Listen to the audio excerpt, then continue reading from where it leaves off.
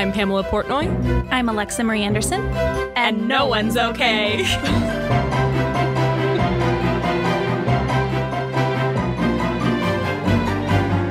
Hello. We're back. We're back. Movie night. Movie night. Movie night. What did I make you watch?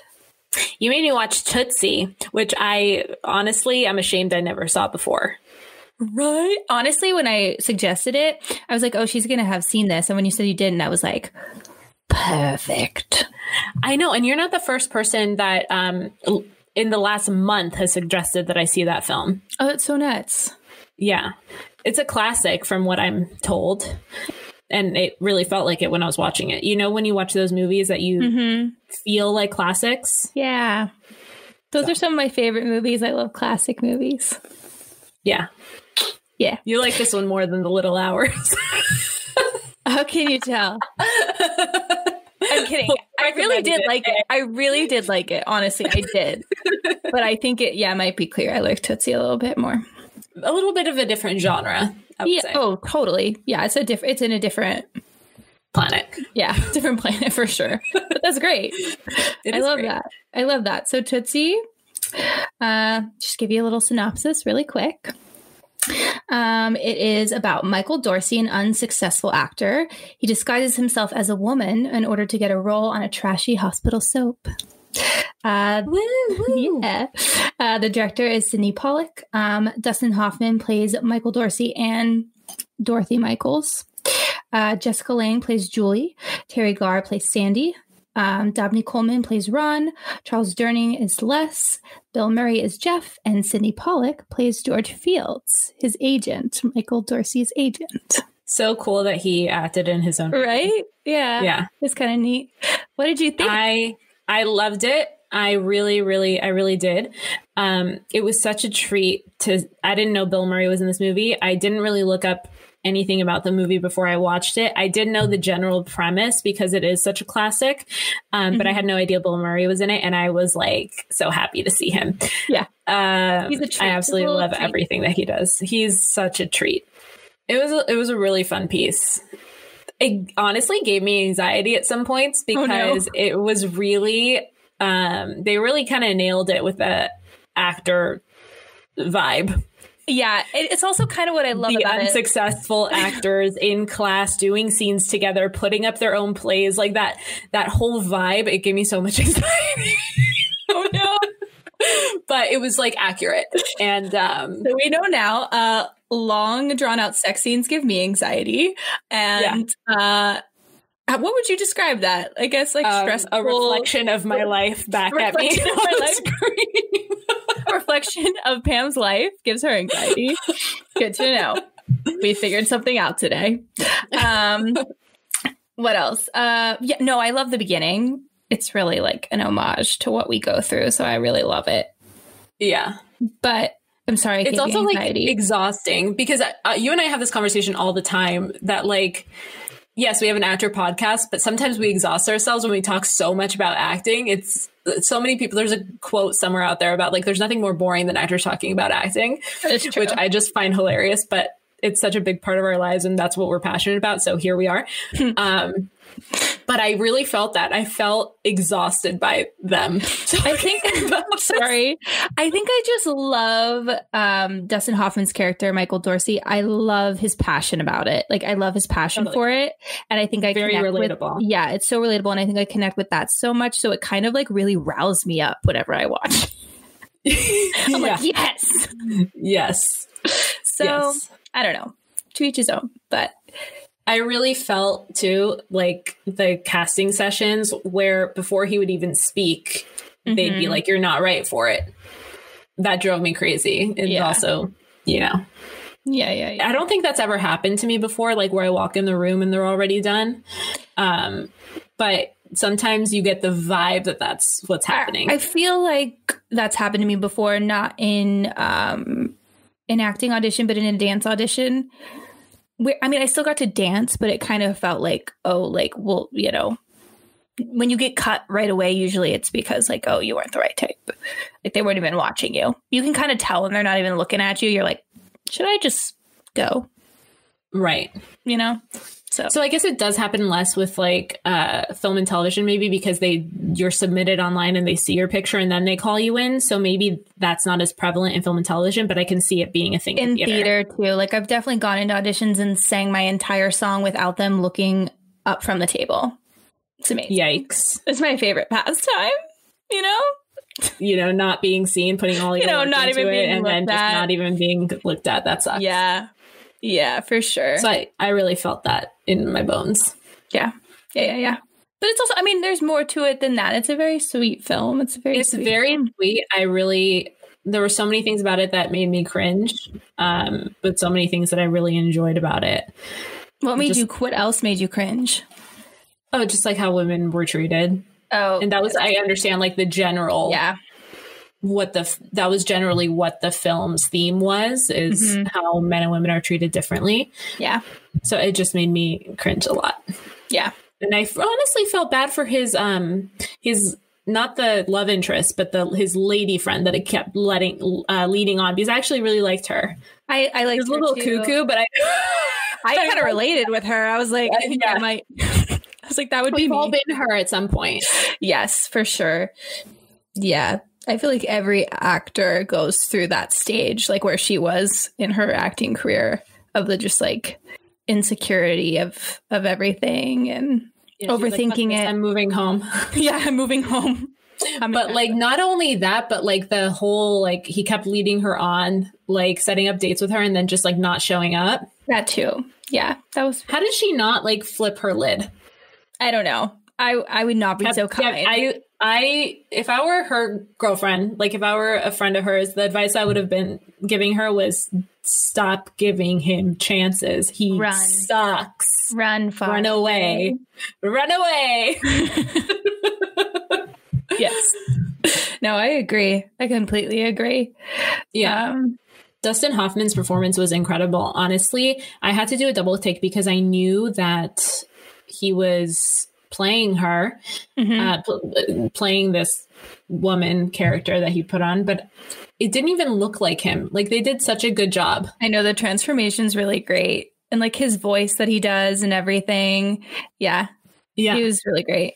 yeah, It kind of is like reminiscent. Like it, there are a couple parts in it just because of like the transformation that it like brings me back to like um Mrs. Doubtfire too for some reason. Like it kind of or like brings you forward to Mrs. Doubtfire. Forward, sorry. Doubtfire was uh, made afterward, right? Oh, absolutely. Yeah, it definitely was. I don't know when it was made, but it definitely I think was made after that film for sure. Do you But, follow a boy with no job on Instagram? I don't think so. he he runs like a it's mostly like a meme account he's fucking fabulous he's um he's actually one of the girls in the morning morning toasts uh he's claudia's husband and he runs boy with no job Oh. and um he does a series of stories on his instagram uh in character as mrs doubtfire as he's like cooking dishes That's amazing. it's really fun you need to check it out Oh, I do need to check it out because I love Mrs. Yeah. Doubtfire. Love that movie. Quote it all the time. yeah It's good. yeah Um, but back to the movie at hand. Yes. Uh, yeah. So, and okay. So, what did you, what did you like about it? What didn't make you cringe? I really thought it was fun. Um, I liked the love story, it, and I just like the general vibe. There's something about the '80s films, like the love story films. They feel lengthier. I know this was only that was still under two hours, but um, they feel. I feel like they take their time in letting the characters connect more in these films. Yeah, I appreciate it. They definitely take their time with it um, and let the. It's more realistic, I'd say, on how a relationship would develop than some of the movies. Some of the more modern movies are a little bit more rushed. so rushed. It's like in the Mhm. modern movies, a lot of the time it's like they'll have the meet cute, like the Yeah. characters will will lock eyes and then cut to them being like full blown in love. Yes, yes, And Absolutely. this is so not the case. Like you actually see them become uh, really good friends. yeah, It, it takes its time and it has that 80s vibe. It's kind of like Say Anything and like when Harry met Sally. Those Mhm. movies take their time with the characters. and yeah. When Harry Met Sally, that's a really good movie. I think Love you. me some when Harry. I hadn't seen it, and then you made me watch it. You never told me you ended up watching it. I think we watched part of it together, and then I ended up finishing it. Okay. Yeah, because you were like, you need to watch this. Yes, I did end up watching it. It Maybe we should do a recap of that one. we could, we could. That's a great. That is a great one. Yeah, that's a good one. Um, sorry, my slipper fell off my foot, and I'm trying to get it back. Hold on, It's fine. You've got quite the setup going here. going well. Would you like to explain to our listeners how um what your setup is here? I'm on the floor in the corner of my bedroom. It is like not that. It's it's interesting. My my laptop and my mic are on a vanity stool, Yes. and I am sitting on the ground. Very good. And I am in my closet. We're doing great. Literally in my linen closet. My my computer is perched on a shelf and I'm looking at like my sheets and towels. We're doing love great. That we're doing really good. You know, you got to do what you got to do for for the right sound. Not that we are giving you the right sound and we apologize. Yeah, it's very unclear what this is going to sound like, but we hope We're just trying our best here. we hope it's great. I'd also like to like point out that Alexa left LA in such a kerfuffle that like we didn't even think about like the mic situation. Yeah. So she just received her um her mic in the mail that I sent her. Yes. We, are making do. We're making just moves. making things work. What we can do right now. I mean, that's what everyone's doing right now. yeah. It's like um it, it's really kind of crazy thinking about it. I get like really we'll talk about this in the Okay? I'll save it. I'll save it. Anyway, tell me why you chose this movie. Oh, because this I watched it when I was young, young, a, a young, When you young young girl, pup? young pup, and I just always It wasn't it. censored. No, No. is there a sex scene in this? You don't see the sex, but it's Oh, it's it my happens. it's my kind of sex scene. yes. You don't see the sex. You don't see the But sex, it but it happens. Mystery. it's a mystery. I'm like, why can't I see the sex? was it good? Was it terrible? We don't know. It's a mystery. You get to make it up for yourself. um, use your imagination. Um, and honestly, in this case, I honestly don't know if it was good or bad. yeah, honestly, it could go either way. It could have gone either way. That's an intriguing thought. I'm I'm sure gonna- that that's what the now- filmmakers wanted us to take away from this film. Was the sex good? I'm gonna be up all night thinking about this. How did that go for them? Um, uh, something to ponder, anyways. Um, what was the question? Did you ask me something? Oh, why'd you choose this film? Oh, You why did I you choose it? Oh, yeah, I saw it when I was young, and I and I loved it. And I don't know, it's just one of those feel good films. I think it definitely, um, you know, aroused my passion for acting. Um, Aroused, I feel like, is your word of the day. I know I can't. Is it because now. we're talking about the sex scenes? Yeah, it just you got me rolling, and now I just can't stop. So I'm just gonna keep keep with it. Um, so yeah, I don't know. I just always kind of loved it. It was very nostalgic for me, and I Yeah. thought it would be a good quarantine watch. Yeah. Yeah, I, I think it definitely was. It was really fun. I didn't feel um yeah, it flew by. It flew by. It was good. yeah. It's a nice lighthearted film. I said that's so. I enunci- enunciated that's so weird. Light, Light- heart. Lighthearted. We need light-hearted. Almost had an Irish accent to it. That could have been scary. Yeah. So I already know what I'm going to assign you for next time. So I'm very excited I about that. I kind of know what I'm going to assign you, but I also feel like you already saw it, so I do have a backup. Okay, good. Yeah. Okay, we're, we're gonna wait. Let- Why not? We should just talk about it right now. What are you thinking is next? Okay, so either if you've seen both of these, I really am going to have to go back to the drawing board. But these are also classics again. We, I mean, we could keep up the like one of us trying something new, or if we just have like a pa- equal passion about it, we and don't mind watching it again. Yeah. I, the whole goal of this was to like take a load off, you know, Yeah. not put pressure and just watch movies we like and to talk about why we like them so much. Okay. Have you seen Thelma and Louise? Oh That's no! what you're watching. That is That's horrific that I haven't seen it. Here's the thing: I can't tell if it was a movie that was assigned. I know she's dancing.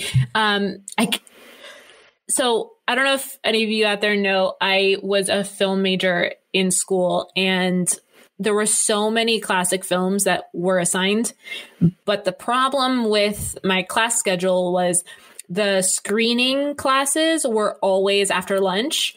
And so I would always, without fail, fall asleep uh, while we were screening these films. So I don't, I feel like maybe that was a film that was assigned, but I totally fell asleep. It's really okay. I will forgive you and I will throw myself under the bus by saying this. I saw Ferris Bueller's Day Off three days ago. So I, I was thinking about assigning that to you, but I actually have something else to to make you watch Oh, now, which I don't know if you've seen it or not. Okay. But regardless, I think we should. We'll see how you feel about it. How do you feel? Have you seen Molly's Game? no. All right, that's what we're doing. Okay. Sorkin. All right. All right. very Oh. I'm gonna love it. then. It's it's so good. No, you. I think you will love it. I love that you're being sarcastic. No, I think you're really going to enjoy it. No, I wasn't being sarcastic. I love Sorkin. Okay. Okay. okay. You were like shaking your head happening. while you were saying it. Um, yeah, mixed signals. That's what I always apparently give. So Literally, because we're remotely recording. yeah. Um, So that's our assignment. I'll watch Thelma and Louise. We'll both watch both films, obviously, because we need to yeah. recap yeah, yeah, yeah. Thelma and Louise and Molly's Game. I'm excited. Those will be our next two. Excellent. Very good. So, are you okay? No, no. She nodded for when are- that whole time. Yeah. I kind of, a lot of my time has been taken up with me thinking about when am I going to be okay? I think a lot of people are in the same boat. yeah. Most people, everybody, weird. like in the world. It's a weird basically. time. I think that true. we're all going to be different after this. I hate, you know what I don't like? I hate when people keep saying this is the new normal. I don't think this particular thing is the new normal. Yeah. I think that there are going to be significant changes and that the way things were before are not going to be exact. Like, I think we'll go back to a semblance of what it used to be, but there will always be. um, yeah. Again, I know nothing, but um, I think that like there will be a lot of things that change. From I agree. What we I just, have. I don't know. It gives me anxiety when people are like, this is our new normal. And I'm like, staying inside, not seeing people. That's not. No, yeah. it's a temporary new normal, Yeah. but it's still not normal. Yeah. No, it's going to be weird. I like, I think a huge part of me just wants everything to go back the way it was, but that's probably not going to happen. Yeah, and and who knows what it's going to look like. And I think everyone wants that. I don't think anyone's necessarily happy about what's going on. It's honestly awful. Well, it's- um, It's also Very scary. Yeah, it's interesting too because I think like you know, just I think back to how I was living life before, and just like not like kind of taking for granted a lot of things, and it's kind of Mhm. made me sit and think like, oh wow, like I miss doing all of those like little like minuscule things that I never even you know noticed, and those are th- the things that I like miss the most. Yeah. You know, yeah, for me, it's um, you know, even though I really like. Oh, like I like the alone time I've been getting. Um, I do miss hugging people. humans So, need to be touched.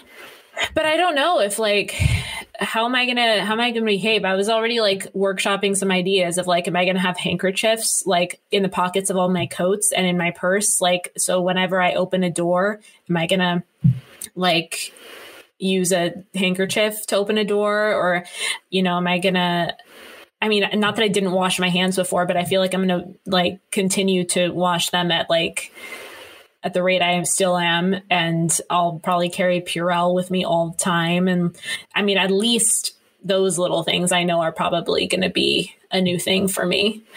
Um, but who knows, like what actual, what the actual society will require us to do differently. Yeah, I don't know. We'll see. It is a weird feeling for sure. How are you? Are you okay? No, I'm not okay. Um, no one is. No one's okay. But um, and it's okay. one thing I noticed, it's okay, it's totally okay. one thing I noticed, um, even though these two films that we picked to watch this week um, were really fun, um, I still found it to be homework. I Okay. finished watching one of the films literally like 10 minutes before we started recording. Amazing. it, me- it was like pulling teeth for me to even do that because, and it wasn't so much because the films were, because the films were fantastic. It wasn't because they were bad. It was because it was, I assigned something for myself to do instead of like going with the flow, which I've been, I've been thriving more on going with the flow and I've been really productive when I don't give myself anything to do because I naturally gravitate towards Mm. doing things that are productive. But when I'm like, you must do this by this time, I was like, oh no. Oh yeah, no, I get that. It's interesting. So I, weird. I watched both of them right away. However, I've noticed, and it's like something that I think I've always kind of known, but I just have be- become more self aware of it being in quarantine, to be honest with you. When I have something that I need to get done, I cannot relax until it's done. Like Yeah. I my anxiety works like in the opposite direction where like I cannot relax or take a breath before I, f- I get that done. It's very weird. So I It's just try to I think you're normal. so I just I just try to get it done. Obviously, you know, not try not to rush it. I think that's been like my thing that I have to balance, you know. Not rushing to get things done, but getting them done in a timely manner. But I think I, the longer I wait, the more anxiety I have. Which, yes, we have talked about this before. Now that I'm saying it loud, but but even with like things that shouldn't be daunting, like watching a movie or, you know, like things I have tons of time to do, like even like a self tape that's not due until like the end of April. But I was like, no, I need to do it now because I will not relax for the next month if I, I think don't. I have the do it same now. self tape. Probably. I think everyone, every actress has the same self tape.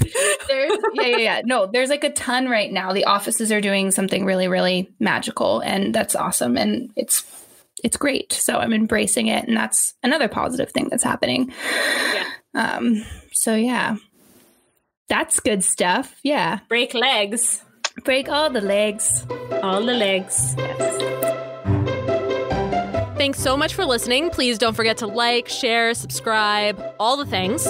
If for some reason you want to see more of us, you can follow us on Instagram at No One's Okay. And a special thanks to Jordan Ross Weinhold, Sean Moore, Jason Crow, Claire Palmer, Jackson Palmer, Tiffany Haymoff, Shane Rings, James Liddell, and our podcast is recorded at Soundwork Studios. We can't wait to meet you.